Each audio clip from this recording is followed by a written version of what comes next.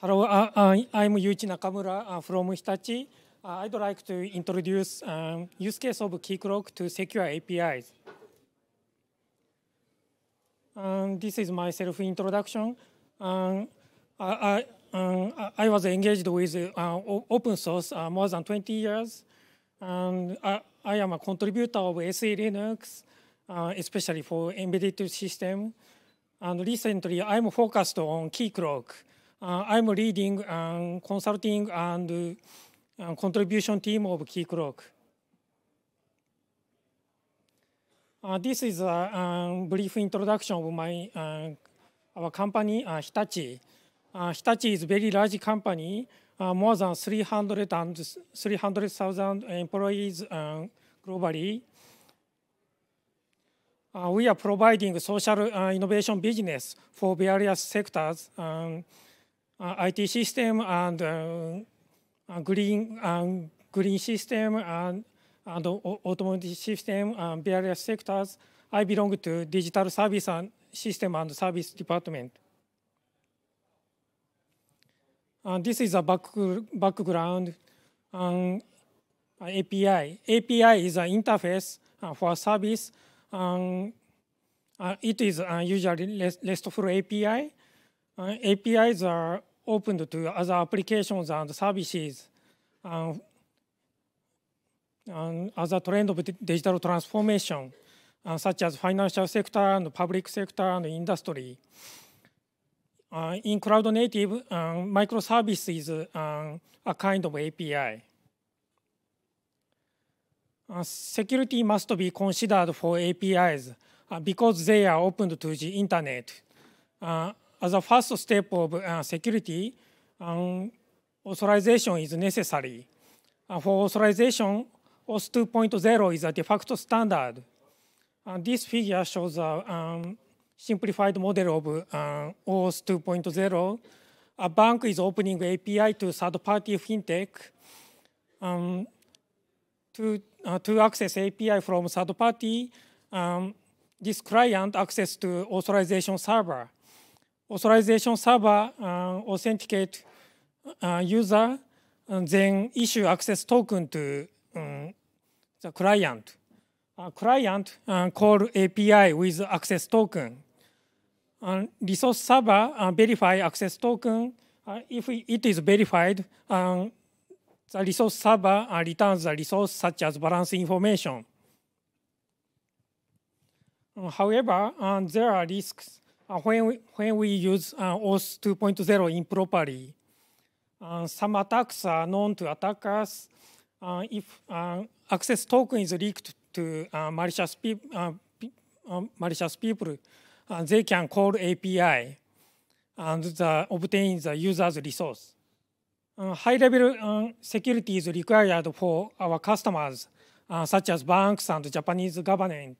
for high-level API security, a specification called FAPI, uh, Financial Grade API Security Profile, is getting um, attention globally. Uh, FAPI is a security profile uh, describing secure usage of OS 2.0. Uh, OS 2.0 is a specification, however, it is a framework. Uh, so improper implementation often leads to uh, security holes on top of OS 2.0, OpenID Connect is defined. Uh, however, uh, improper implementation is still not restricted.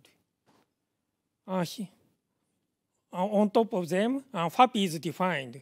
Uh, secure usage of OS, OS 2.0 and OIDC is described across the protocol flow.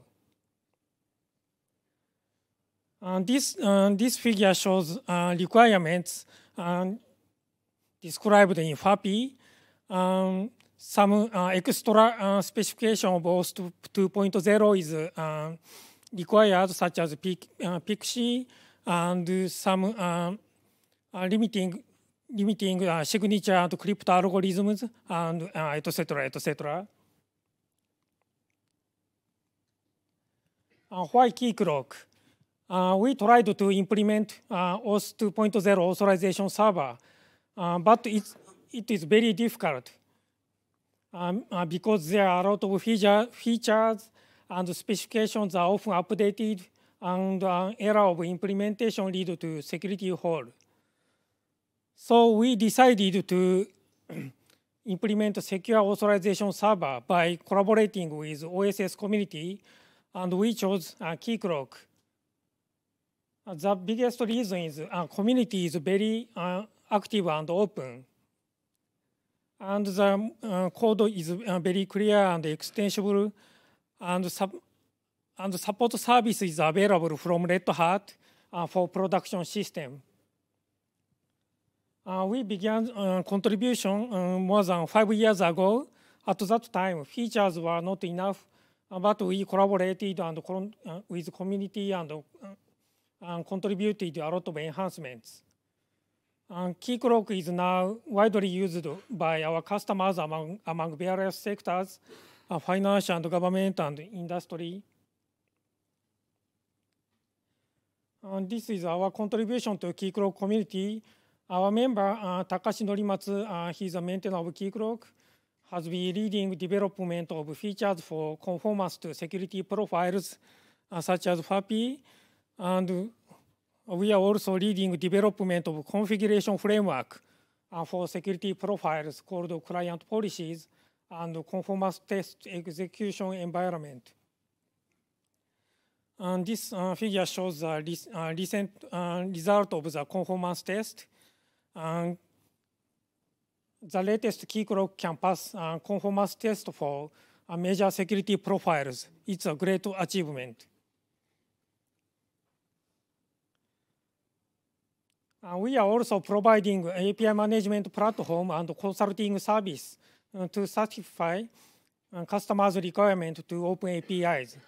Uh, there are a lot of requirements other than authorization, such as access control, rate limit, and uh, developer portal. Uh, we are providing API management uh, platform and consulting service. This is a component of API management platform. API management platform is composed of elements of Red Hat integration and OpenShift. On top of OpenShift, uh, 3-scale is deployed uh, 3Scale uh, provides API gateway and developer and admin portal. And also Keycloak is uh, deployed uh, for authorization server. Uh, we are providing the uh, API management platform um, and more than 10, 10 banks are using our platform. this is a customer's case, uh, a Japanese bank's case, uh, uh, the customer was seeking for API management solution and was interested in our solution because uh, Keycloak has high-level API security features. And also other components are useful. Uh, this, uh, this is uh, components. Um, there is a Keycloak. Uh, we are uh, using Red Hat SSO. And um, and there are two API gateways, um, API gateways for uh, external API and API gateway for internal APIs. And uh, there is a Red Hat Fuse. Uh, Red Hat Fuse uh, uh, converts uh, internal API to external APIs. external APIs are easy to use for front-end developers. Uh, this is summary. Uh, Keycloak is an essential part of API security now, and we are uh, using Keycloak for customers uh, among various sectors. Uh, finally, uh, congratulations on Keycloak, Keycloak's adoption as a CNCF incubating project. we are willing to help Keycloak community to graduate CNCF incubation process. that's all for my presentation. thank you